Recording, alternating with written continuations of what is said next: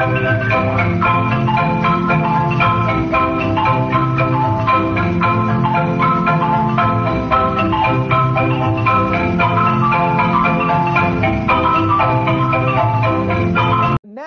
well, uh, intelligence is sort of required uh, for this last film. Not a documentary, though. We're back to normal. Thank goodness. You know, so no more the acquired taste, so we can dumb down our taste buds. Take a look at this uh, new film from Cloud 10 Pictures, which is The Genius Club, uh, starring Stephen Baldwin. Uh, this picture is actually uh, taking a look at bringing the, all the intelligent people of the nation, apparently there's only seven of them, into one room and then trying to discuss the conundrum of the world's problems. I know, I said conundrum, didn't I? That's a big word, obviously, and there's still some intelligence floating around. So take a look right here from Cloud 10 Pictures, The Genius Club. Well, this is great. One minute I'm delivering pizza, next minute I'm trying to solve the problems of the world. You have a very big mouth, Rory. A very big mouth. Perhaps you aren't a genius. Huh?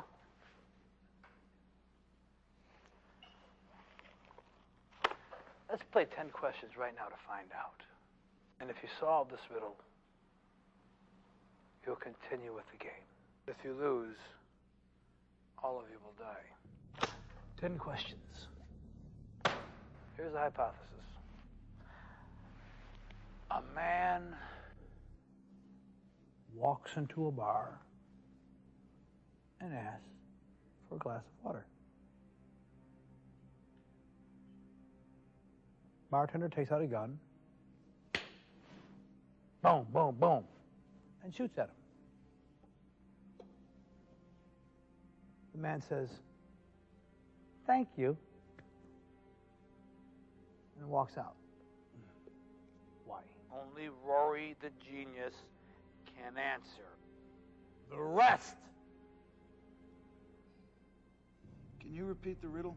A man walks into a bar and he asks for a glass of water. The bartender takes out a gun and shoots at him. The man says, Thank you, and walks out. Why? Well, did the bartender kill the guy? No. Now you have nine questions left. Well, did they have some kind of a previous disagreement? No. Eight questions left. Well, the bartender, did he shoot at him to try to kill him? No. Seven questions left.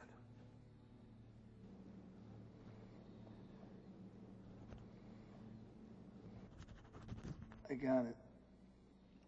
The bartender shot at the guy so he would scare him because he wanted to cure him of his hiccups. Very good, Rory. You came within seven questions of losing everyone's life. Very good. Don't disrespect me again. Am I clear? Stop playing with this guy. It's not a joke. I've seen the bomb. I know what he can do, okay? He can blow the whole city. Who is this guy? You don't know. Yes, you do, Brian. Stop lying. Shall we continue with the game? You've wasted eight minutes of your time already.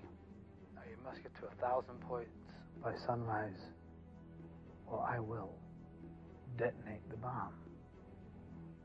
All right, well, that was a clip from Cloud 10 Pictures' The Genius Club. To be honest with you, coulda, woulda, shoulda. It just missed the mark. I know what they were after and what they wanted to accomplish, but it didn't work. Uh, the uh, story had a lot of holes in it that just bothered me. Uh, you have a terrorist who puts together the seven most intelligent people of the world who all happen to be American and they all happen to be living in D.C. And so they pull them all together into one room to solve the world problems. Uh, the issue is, though, that they never really have a problem to solve. It's more like the terrorists gives out riddles that they have to figure out. And if they get it right, they get points for this game. That, and if they get it wrong, well, they don't get points. Now, if they get a certain number of points, the terrorist promises not to blow up the city. Uh, and what bothered me was there was never that question about would he really blow it up or would he really stay to his word and you know not blow up if they don't get to those questions.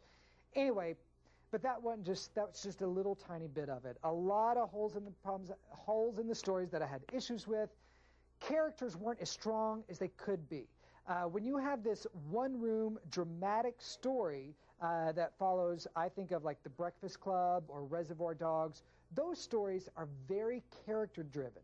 This one, the characters weren't really strong enough. They didn't start shining till about an hour into the movie. And the problem with that is we're an hour into the movie.